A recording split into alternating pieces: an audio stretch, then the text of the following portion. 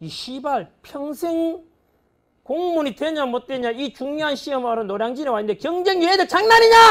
시발 수십 대 경쟁률 뚫어야 시발 합격할 거 아니야?